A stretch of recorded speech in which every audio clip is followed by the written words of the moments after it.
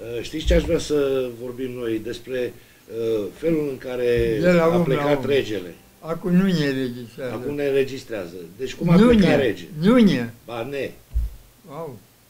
Deci să Nu, ne povestiți cum, ce- cum a plecat regele. Cum a abdicat regele. Am auzit că cu câteva vagoane, 5, 6, Dar cu știți ceva cumva de la dumneavoastră că a Sinaia. plecat uh, cu acele vagoane? Aveți vreo informație sau așa vorbea lumea? Nu, nu, așa vorbea lumea. Eu n-am văzut vagoanele și nici când au venit cu ele, uh, e greu. Și Și epoca auzi- lui Gheorghiu Dej, deci prima dată a fost Ana Paucă și cu Eu, Dej. eu am fost la Gheorghiu Deci chemat pentru alta din Barul Mare, că mergeam până în Barul Mare, în, ha- în gara, în stația CFR, unde se încărcau vagoane, era comercială și îți veneau pachete și am adus de la Jumbolia țigla și așa. Uh, Și v-ați întâlnit cu Gheorghiu Dej? În trei seri m-au chemat la el, au zis, te chem numai cât am timp. Și te chem Dar mâine. v-ați cunoscut personal cu Gheorghiu Dej? Da, domnule, am dat mâna, ne-am pupat pe obraz. Și cum era Gheorghiu Dej? Păi cu mine au fost drăguț și ne-au aprobat halta.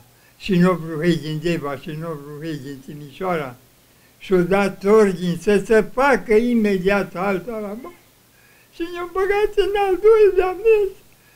Prima sor și-au robăit ăștia mai mari. Cum? Îi urcă trenul și și în curbă, e curba cea mare, curba de la Da, de la bar. Sălășeni. Au zis, De aici, de la Merișor, nu? nu-i Merișorul, Sălășeniu, aici Scrivadia prima. Privadea, da. Da. Și, Și uh, s-a făcut halta la barul mare. păi, ne vedeam Dar și... cum l-ați lămurit pe Gheorghiu Dej că e nevoie de haltă aici? Păi, uh, Georgiu Deci m-a ascultat întâi, m-a mai întrebat că vă cum merge la primărie treaba. Nu prea știam. Ați fost primar? Eu n-am fost primar, numai secretar, de primărie. secretar de primărie. ați fost. Da, m-au dus la Deva, de-am învățat să bat la mașină. Prefectul mă lăsa în timpul cât dormea, e, că era obosit, nu? Multe probleme, ori mânca acasă. Și rămâneam eu și spuneam, e pe teren, dar bine. Mi-au spus că vine până la ora cu țară. Și venea.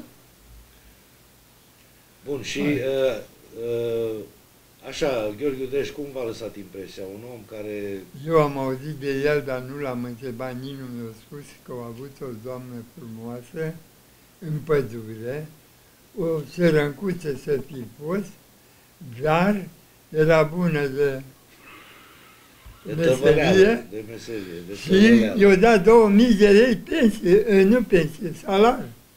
Cât am trăit noi, apoi când o murit. am- Rentă viajeră, da. Și am de... Bun, și uh, după ce a murit Gheorghiu Dej, a venit la conducerea Partidului Comunist și a statului Ceaușescu. Ceaușescu. Tovarăș, duceți-te pe la lucru că vă mai dau 90 de lei. Iar regele Mihai, când a venit, a zis, eu am făcut armata la aviație. A, pe da, a zburat cu avionul, nu. Poate că a zburat, dar nu a condus el. Dar nu mă bag că așa lucru. Dar știți că regele Mihai a trecut pe aici, pe la Baruș și Știu, oamenii l-au întâmpinat, știu, inclusiv taică. Am făcut uh, gaz viu, ne-au pus dintr-un fag, o lega punia. Prima dată mi-amintesc când a venit regele Mihai, a venit, uh, a intrat în județul Hunedoara pe drumul dintre uh, Lugo și uh, Ilia. Da. Și acolo am fost și după aceea a venit, a trecut pe aici și pe Am Ibarul. fost la biserica înaltă, albă, Greco. Dar zi, Nea Cornele, că asta trebuie să știe lumea. Corupție era și atunci. Păi cum să nu fie? Când a fost corupție? Dar Înainte de război era corupție când țara avea de era, toate. nu știa lumea de cuvântul ăsta de corupție. Când era 50 de bani sau un leu, kilul de 50 de bani un litru de lapte carne. și nici un leu, un kil de carne de miel. Ion vă întreabă dacă era corupție atunci, dacă se mituiau între ei oameni. Era, dacă vreți să vă spun, era. O luat de la noi un olar ca să smălțească oalele, să le ducă pe sate, le smălțea numai anunțul afară, nu. Că trebuie să se iasă diresala prin ea, are un scop. Și ulciorul, că îl pui... Bine, dar politicienii la o mită, șpagă... A, dacă vă spun acum de mama mea, mare politiciană, nu era nimica. Zice, Floare, să-mi dai o mie de lei împrumut până vinge pe Mureș. Vindea oalele pe Mureș. Venea cu bucate și cu bani și cu țuică și cu slănină și cu brânză. Avea olarul de toate. Și fratele meu învăța Vasile uh, Olăritu. Și s-a făcut conversiunea. Dacă aveai o mie să dai, mai dădeai 500. Așa și așa, ori cu banca, ori cu mine, era conversiunea și o prins pe mama cu o mie de lei dată.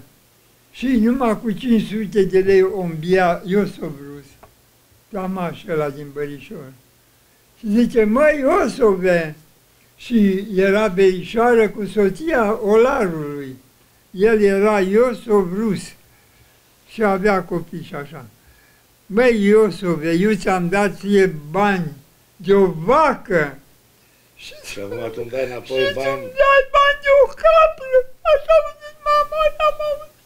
Ia, Cornele, Mă, că-i cu dar jos. știi că l-ai cunoscut că pe bunicul meu, tata lui mama, Vai, da. era Petru ăla, zidarul. El mi-a spus așa, face că, Era din lunga celui. nu, din Valea Moncelului, zidarul, Petru. Da, da, doctor. da, el era ginele acolo. Da, și el a zis așa, face că hoția din România și beția din Rusia nu, nu o se- să dispară niciodată. Era un slogan. Da. Și să Acum- cam Și adeverește. pe vremea lui Ceaușescu era și atunci corupție. La primărie, știu eu, la prefectură, la, dacă știți ceva din perioada asta. A, erau, domnule, dar eu e, îmi vedeam de treabă, mi lăsam mult de lucru, abia Aveai acum funcție la Petroșani. am fost șef de birou și șef de 10 om- oameni în subordine la desfacere. Unde ați lucrat la Petroșani? E, La Dumitru Poienaru am lucrat mult, acum ai Zoma. La TAPL. Nu ce apele. Sau OCL alimentară. La alimentară, nu? Nu îi zicea așa, îi zicea organizarea comerțului cu ridicata. Uh, OCL, Organizația Comercială cu Ridicata. Adică angrosiștii, cum Da. ar fi pe vremea noastră. Nu? Așa. Angrosiștii. Era contabil. Acolo până nu duceai ceva, un liter de țuică sau nu duceai... Comision. La, a, a, era un ungur acolo la Petroșani, nu, nu mai știu cum îi zicea, s-a dus în uh, patria lui și nu-ți dădea până nu dădeai bacșiș, dar nu vedea nimeni. Trebuia să aștepți să n-aibă clienți, că să n-aibă martori. Știu unde pentru 14 lei o lua din pui o pereche de ciorapi, ciorapii costau, să zicem, 14 lei și el o cerut 15 lei, nu mai dat restul de un leu. Nicoara. Da. L-a uh, l-a judecat pentru un leu de la o pereche de ciorapi, a fost cuscru cu mine și l-au dus la pușcărie și au făcut un an și au venit și în comerț, nu și-au mai pus mâna și Deci piciorul. era fenomenul frică, teamă. O ieșerat o teamă, da. Era, Și, uh, și acum, zilele astea ale noastre, că ați prins și 25 de ani de democrație Da. după decembrie. da, așa. Cum vedeți lucrurile astăzi? Nu merge treaba, domnule, să, eu mă bucur că a venit Iohan ăsta. Ăla la nume cum e? Claus Iohannis. Cum anume? Claus. Claus. Ce o însemnând Claus? Unii zic că tot Ion. Pe Claus e un nume nemțesc. Îi Nume nemțesc, dar ce A, înseamnă? tradus în românește, nu știu, trebuie să-l întrebăm pe președintele Nici eu, Iohannis. nici eu nu știu. No, așa a fost atunci treaba că uh, A, dacă mintea nu nu merge cu mine în jug pereche, rămâne în urmă memoria. Dar de Băsescu, ce, ce părere ați avut de Băsescu, de fostul președinte? Băsescu, Băsescu și-a făcut, uite, acum iasă treaba cu fratele lui, cu terenul din afara Bucureștiului. A, și vor mai ieși multe corupție. Cum să nu fie el până președinte dar măcar Băsescu... Dar pe vremuri, înainte de, o, o, o, dar înainte de, să zicem, înainte de război sau pe vremea când uh, erau comuniștii la putere, păi ați auzit că șefii își făceau așa tot felul de afaceri personale, se întâmplau lucruri din astea? Păi auzeam, domnule, dar nu se judecau atâtea. De unde să știu eu că e adevărat sau nu e adevărat? Bă, o furat unul din lupeni oile lucuțarele, le-au trecut peste munte, le-au văzut toată turma. S-au furat măgarul lucuțare de pe muntele cu țară. Toți munții ăștia i-am bătut cu picioarele până au fost bune. Acum e mult și până la primărie și stau la bloc. Am trei case, nu vreau să uit, să nu vă spun la sfârșit, nu-mi dă niciuna.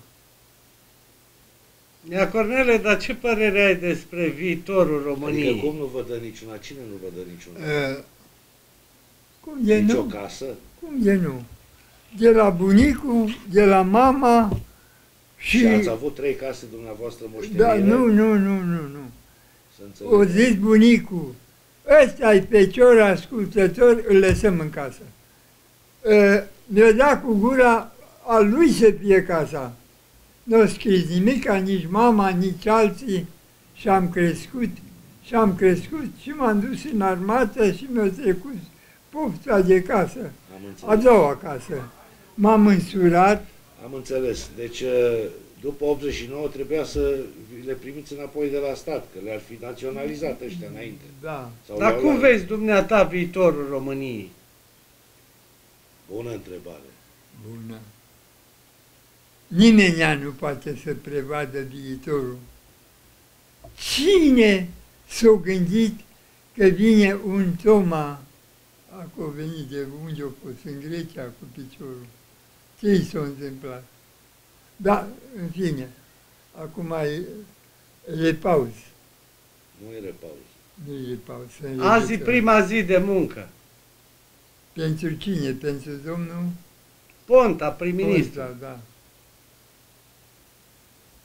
să fie de bine, dar au zis că din Partid Comunist au făcut Partid Socialist. Dar mata știai că comunismul nu a murit, nu m-a țăr s-a hodinit, așa zicem noi ardelenii. N-am auzit-o pe Dar când a fost mai bine? Cu regele? Când a fost uh, Carol I? Ori fost de la, o zis că trec prin sat jandarmii care sunt puși de Cuza și Goga. Cine au fost goghiștii ăia, cine au fost cuziștii, că știu că nu aduc Cuza Bodă, dar tremuram de frică. Copiii toți ne băgam după poartă înăuntru când treceau Garda de fier, erau... Și nu erau jandarmi adevărați, aveau pene Gardiști. pe... Gardiști, gardă. De lui Zeno Codreanu. Zelea Corneliu, na, Zelea Codreanu.